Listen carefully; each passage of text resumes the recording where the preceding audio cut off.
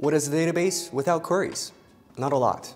That's why we're happy to announce a new set of query methods contains for arrays and strings and OR operators. There are more possibilities for data retrieval and manipulation. These new query methods add powerful new query and logic to Appwrite databases for you to manage your data. We've added contains queries for arrays, which you can check if an array contains specific items. For example, you can find all users with a common label. We've also added queries for substrings, which allows you to check if strings contain a specific substring. Under the example, you can find all products with a specific keyword in their name. To top it all off, we added OR operators for you to group your queries. OR queries allow developers to combine the result of multiple other queries, expanding the scope of data retrieval and reducing the number of requests required.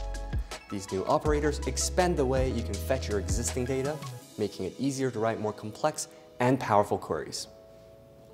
OR queries will give you more flexibility in how you structure your data, as well as extract data with greater precision and perform more sophisticated data analysis.